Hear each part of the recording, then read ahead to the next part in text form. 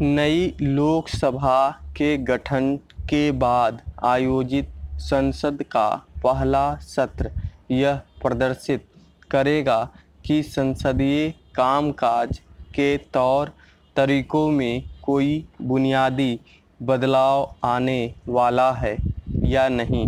इस सत्र के पहले बुलाई गई सर्वदलीय बैठक में पक्ष विपक्ष के नेताओं की ओर से भले ही चाहे जैसी उम्मीद जताई गई हो, अब तक का अनुभव कोई बहुत अच्छा नहीं रहा है।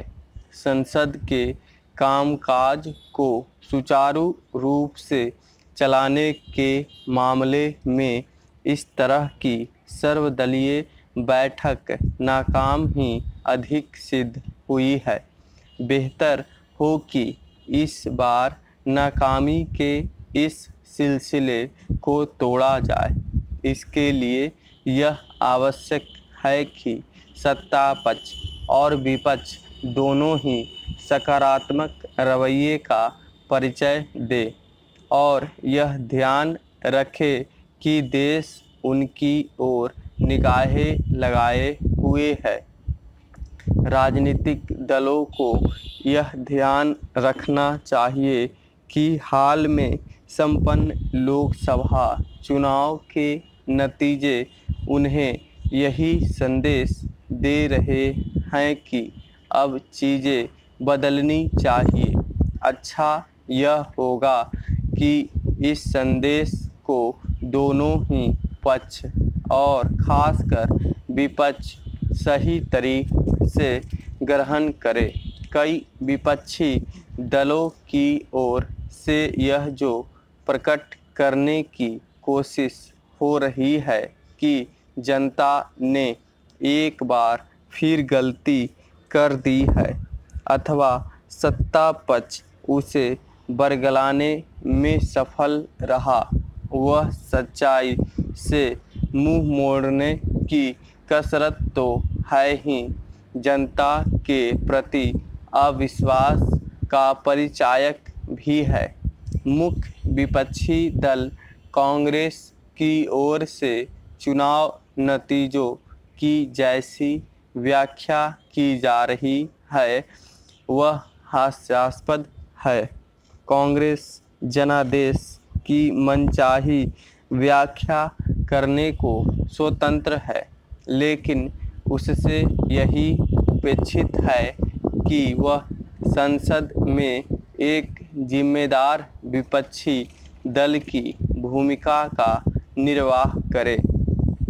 एक बड़ी हद तक यह सही है कि लोकतंत्र में विपक्ष को भी सशक्त होना चाहिए, लेकिन इसकी अनदेखी नहीं की जा सकती। कि विपक्ष की ताकत संख्या बल से कम से कम, उसके तार्किक रवैये से अधिक निर्धारित होती है। अतीत में ऐसा कई बार हो चुका है और विशेष रूप से जवाहरलाल नेहरू, इंदिरा गांधी और राजीव गांधी के कार्यकाल में जब विपक्ष संख्या बल के लिहाज से तो कमज़ोर था, लेकिन अपने जिम्मेदार व्यवहार के चलते वह कहीं अधिक प्रभावी था। निसंदेह विपक्ष का काम सत्ता पक्ष की कमजोरियों को उजागर करना और ज़रूरत पड़ने पर उसे कटघरे में खड़ा करना भी होता है। लेकिन इसी के साथ उसका एक दायित्व सरकार को रचनात्मक सहयोग देना भी होता है।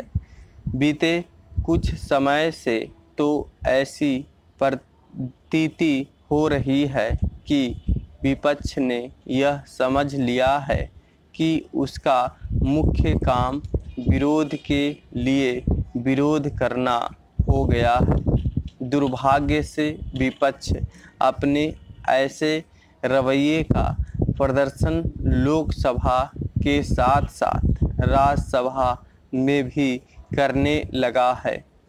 व्यर्थ का हो हल्ला संसद की गरिमा ही नहीं गिराता, बल्कि राजनीतिक दलों की छवि पर भी बुरा असर डालता है। इससे भी खराब बात यह होती है कि जब संसद सही तरह से कार्य नहीं करती तो देश के काम प्रभावित होते हैं। संसद का काम देश को दिशा दिखाना है। संसद के इस सत्र में राष्ट्रीय महत्व के अनेक विधेयक लंबित हैं। इन विधेयकों पर सार्थक चर्चा करके समुचित निर्णय लिए जाने की ज़रूरत है, न कि सरकार की राह रोकने की।